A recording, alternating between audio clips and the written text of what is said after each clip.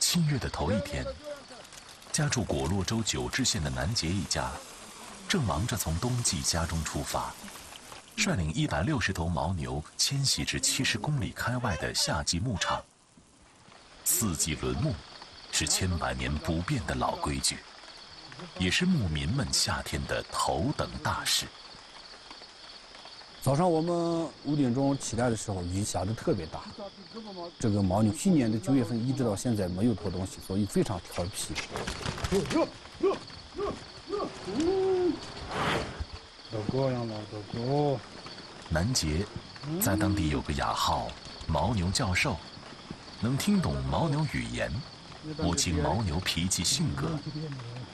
他很熟悉我，小时候就开始一起长的。我们牛圈里抓的时候，他开始认识我，跑过来了。最后给他掏东西，他就不开心，马上就情绪乱了。现在好了。啊，杨老，这个你，啊，不是老弟弟的那个，呀。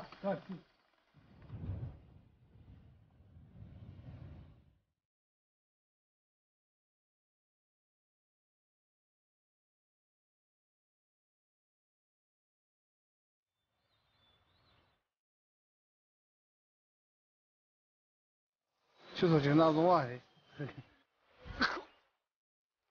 哎，没过，哦呀，哦呀，行，呀，车上落不掉，二十车车上落不掉。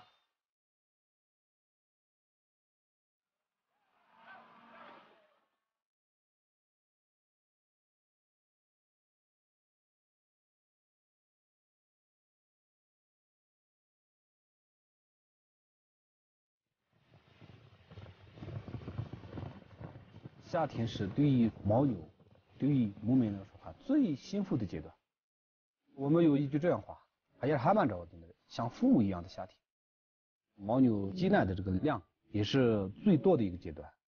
这个这个这个这个，这全是挤奶的那些牦牛，你看全是小牦牛的妈妈。像这个哈，我们家最老的牦牛，它已经快到三十岁了，给我们家生了将近有十七八头。小牦牛，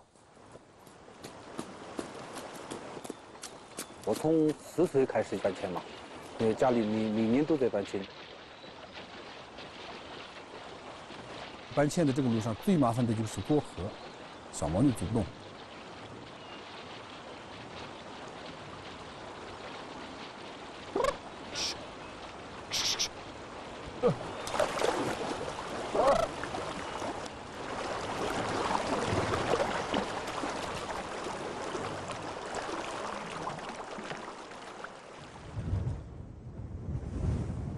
天色将晚，前路漫漫，南杰决定就地扎营。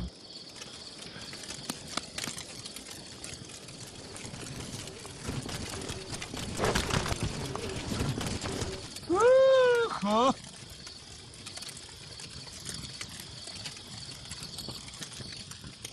那天晚上睡得很死很死，也没听到什么动静。那早上的时候就一看，还就是当时哥哥也是觉得不对头。我们家的一个老老母牛母子牛跑的这么个就是，现在找不到，在我那个找去了。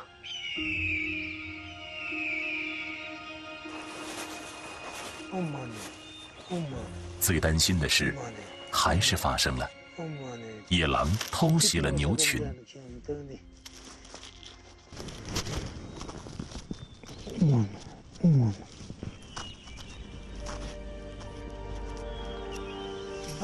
牧民眼中牦牛浑身是宝，他们不想有任何浪费，但还是留下一部分牛肉，留给草原上饥饿的野生动物。这也是家族领头牛与草原最后的告别。哎呀，我还想着不应该这样死掉，那个母牦牛真的对我们家非常非常的贡献大。贡献最大的一个门。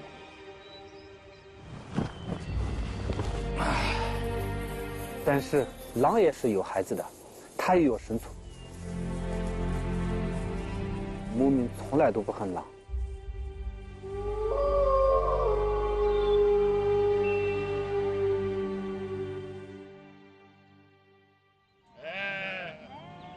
狼，或许是迁徙途中牧民共同的困扰。台北祁连县，距离果洛八百公里开外，藏系白羊血统纯正。九零后牧羊女卓玛是名草原歌手，为守护一千多只羊的安全，她扎起了防狼的木头人。每次迁徙转场，我们呢都会在路上过夜，阿爸都是彻夜不睡，支起盏灯，守护着羊群。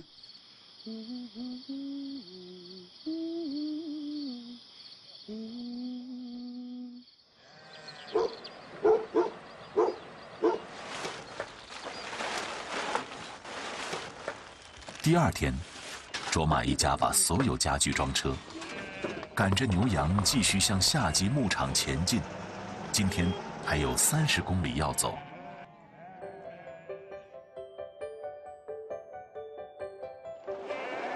小时候我们转场呢，弟弟是装在那个木桶里面，我从小就很结实，就是坐在牛屁股上。我现在慢慢长大了，这些活我就抢着干。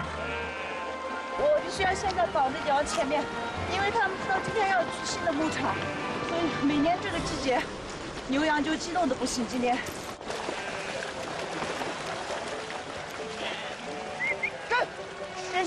羊群里挺乱的，有些羊发情打架，有些呢还走不动发脾气。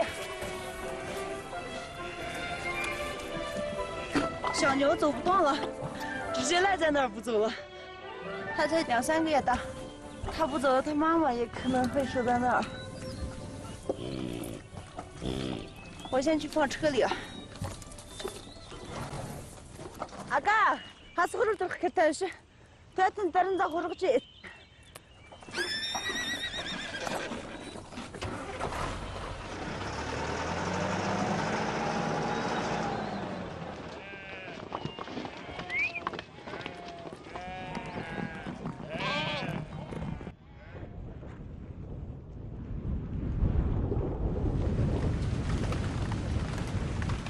一阵雨打乱了节奏。车子出了点故障，大家就地休息。现在抱去，到他妈妈身边给他吃点奶。小牛饿坏了，今天。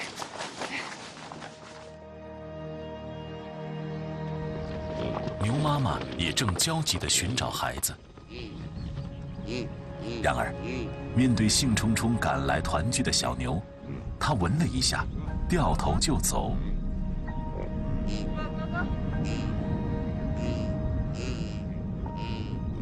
小牛身上现在是人抱了，而且刚才还装车里了，身上有其他的味道。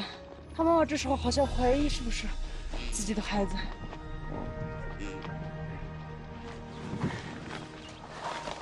得需要我们抓住大牛，给小牛吃奶。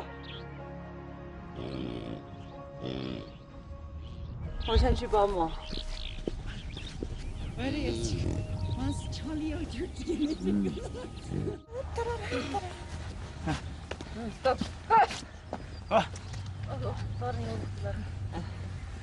再踢他。他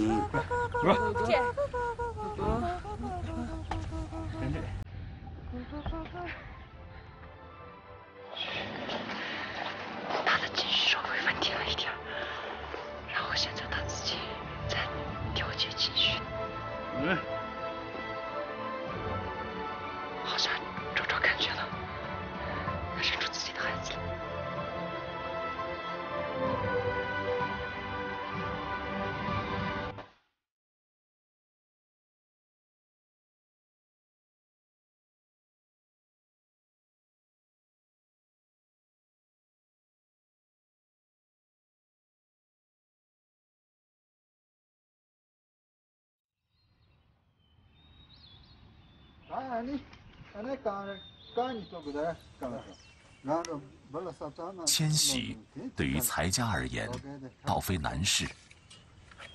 作为玉树囊谦县白扎村的村支书，他的夏天还有很多事要忙。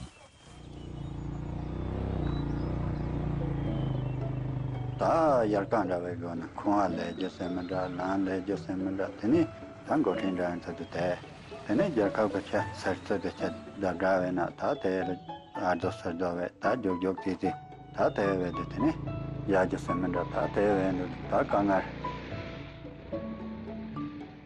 玉树囊谦县被誉为三江源的小江南，上有森林，下有草原，河水百转千回。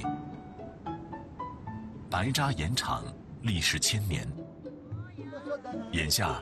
财家要赶在盛夏的雨季来临前，组织村民完成最后一次晒盐。다 차례 많죠. 도와 띵사. 어느 면에 세면다 당고 도래다 되네. 따라 달로 쳐. 가서 둘 둘에가 쳤으면 저 소야 된다. 어, 그거 죽을라 나서 왜 사바. 올라 나서 요런 거 가면 开工前点燃一块松枝，感恩山水赐予的生命之盐，祈福有一个好收成。盐场有四口古盐井，晒盐时，人们一边用盐井内的卤水灌溉盐池，一边用石头夯实池壁。每个人都祈愿自己的池子能结出最多的盐吧。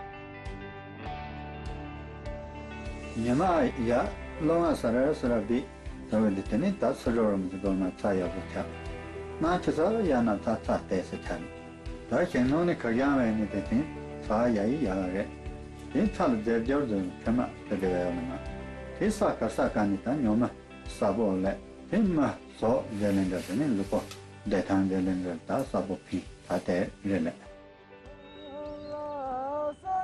天气说变就变，大家争分夺秒，终于赶在下雨前完成任务。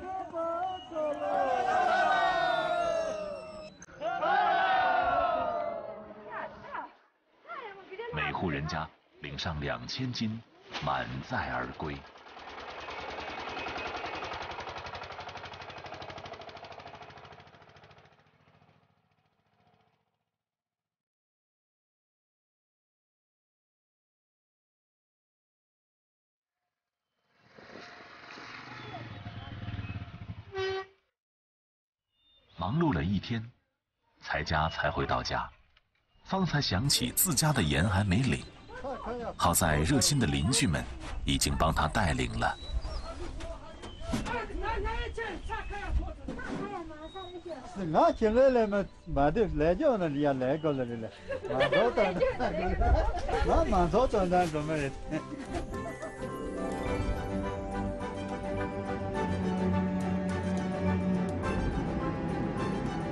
年保玉泽，果落最秀美的山脉。